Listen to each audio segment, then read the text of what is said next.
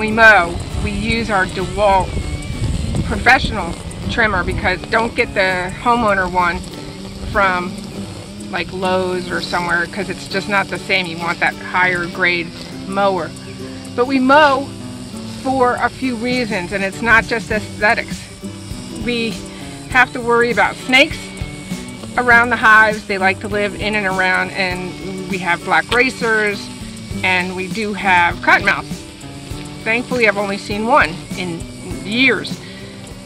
Black racers, all kinds of snakes, rats, mice. These are things that can get in and around the hive and perhaps invade the hive. And we also have lots of dragonflies and other bugs that will sit right on the high grass around the hive and prey on the bees. So you can't stop that, but I don't have to give them a perch to then invade or grab whoever may be flying. So in the spring, we basically don't mow until the flower bloom around the hives is over and they've really gotten a good start. But as these rains come in, the grass goes from, you know, three inches to six inches to three feet high. And you've got to open up that airflow in and around the hives because it does start to encroach and make things hotter. Now, if I had them on concrete, I know my grass, is, even with high grass, it, the hives are much cooler than if they're on any type of artificial surface. And the mowing, though, will open up more airflow both in and around the hive. So it's not just for aesthetics, it really is a necessary event, but it's also one that as you're doing it, my heat index in this past three weeks has been anywhere from 100 to 120. So with the heat index, just make sure you stay hydrated and you take your breaks so that your bees have you for years to come. Okay.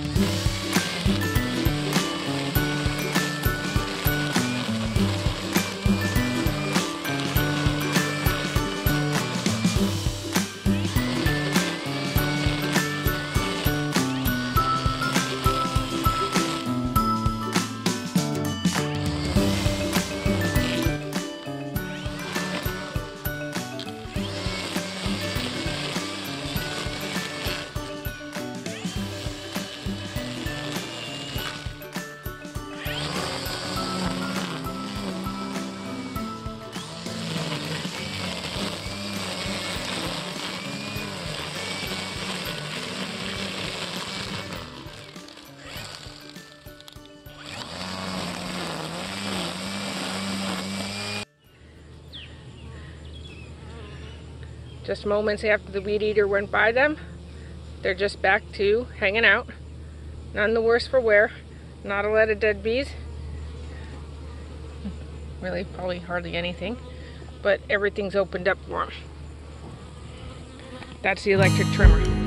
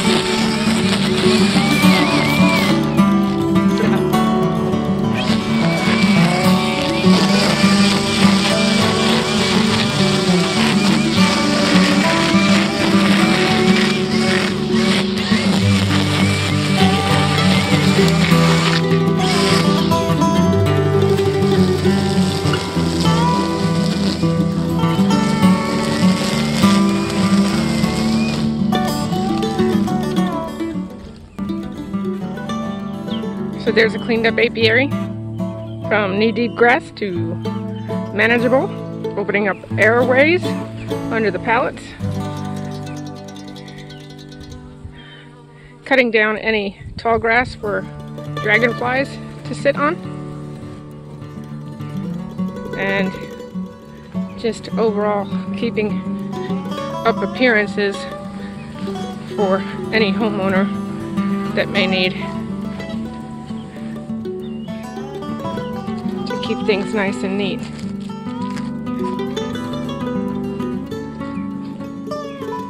Nice and cleaned up. Keeping, once the grass is very high, this is three feet tall. It closes off air, makes things super hot. Now I've got cleaned up aisles, pallets, critters that won't be able to hide. And there we go.